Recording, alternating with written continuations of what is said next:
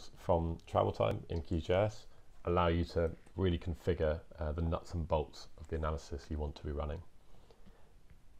And we have an advanced tool or an advanced version of each of the three key tools. So uh, we have an advanced uh, time map tool for creating isochrones, an advanced routes tool for creating routes, and an advanced time filter tool for filtering locations into reachable and unreachable based on travel time, and also calculating um, travel times between lots of origins and lots of destinations. I'm just going to show you um, how one of these works, which is the advanced time map tool. Because yeah, what I show you here will be basically um, similarly relevant to the, the routes and the time filter tool. So it looks slightly different to um, the simple time map tool, uh, but actually a lot of it is, is very similar. There are two sets of fields that we can fill in, um, and we basically have to just choose one set. So we either fill in these departure fields, or we fill in these arrival fields. So the departure fields would be creating isochrones um, for journeys that leave these locations at this time and how far can we get. Arrival would be to arrive at these locations at this time. Um, you know, where could we have set off from, uh, given the, the, travel time to get to those um, arrival destinations. So we're going to do departure here. So we don't want any layer in this um, arrival searches. We want to use this departure searches. So we'll select our layer. Let's run it on this um, 10 locations layer. And here we can choose an ID from that um, 10 locations to use as the kind of unique identifier um, in that output. So this is a, a really good way if you're creating lots of isochrones to be able to really easily identify them in the output.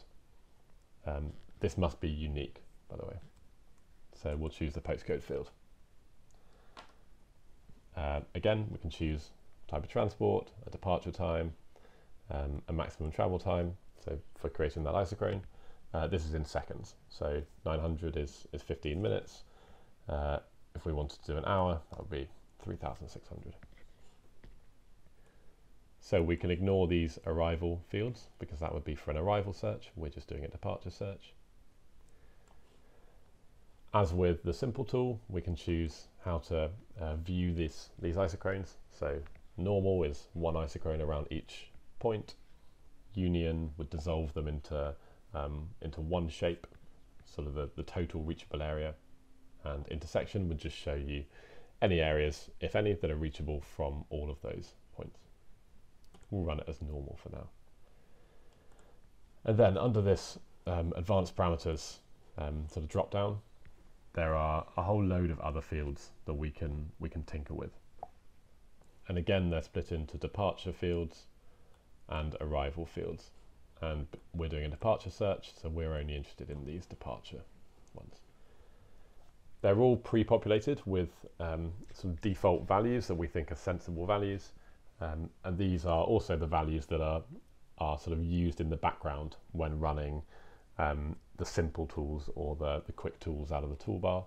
Um, these, these advanced parameter values are the ones that will be used. Most of these are, um, are appropriate for, for public transport. Uh, and if you want a full list of how these all work, just um, yeah, go into our documentation or there's a, a description on the, on the right hand side here. But to give you an example, um, this walking time field. This says for a public transport journey, how long do you allow someone to walk, um, both from their departure point to the first public transport bus stop or train station, and then similarly from the final um, stop or station, walking to their destination. So this is 15 minutes, but if you were running some analysis, say in a more rural area, and you wanted people to actually be able to walk further before getting on public transport and to walk further at the other end, you could just increase this value. And yeah, same goes for all of these all of these different parameters that you can configure. We also have this um, departure search range width field. And what this does is, rather than saying Currently, we have a departure time um, of four o'clock. If we wanted to set a departure window, so we want to say we still want to have a one hour travel time, but we want to pick up any journeys that leave between four o'clock and five o'clock.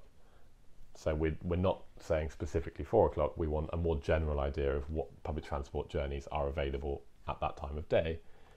We can put, if we put an hour into here, so 3,600 seconds, that would give us, um, it would calculate any, any journeys that set off between four and five, and it will therefore create a, a larger isochrone because it will consolidate all of those potential journeys into a total reachable area. And the other thing we can configure in this advanced tool is this fields to keep option. Again, only for departure, the one we're looking at for now. And in here we can select, these are all the um, fields in that input layer we're using. And if there are any of these that we want to retain in the attribute table um, of the of the isochrones, we can just select them here. So it just makes it easier to identify those isochrones um, in the attribute table. So yeah, if we just select a couple of those. And let's run this.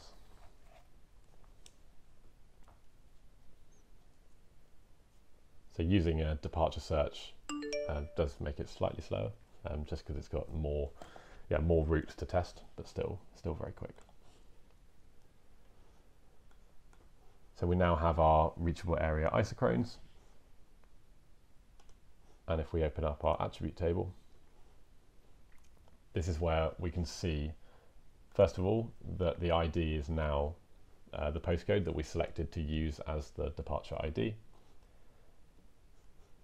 And we have those two fields that we've decided to keep. So the departure location ID and again that postcode field that we ticked.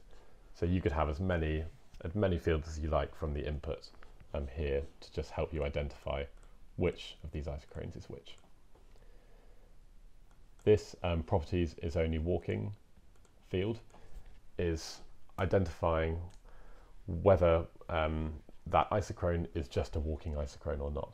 So in the case that you try and run a public transport isochrone in an area where there's no access to public transport, it will essentially just return a walking shape because you're still allowed to walk for whatever that value we set as the walking value was, so 15 minutes. So you'll get a 15 minute walking area. But this is just showing you that if it said true, that would mean it's an isochrone, but it's just walking. There's actually no public transport being used. But these are all false, which means all of these isochrones are actually using public transport. And that's how to use the advanced parameters. Um, most of them are very similar for the advanced routes tool and the advanced time filter tool.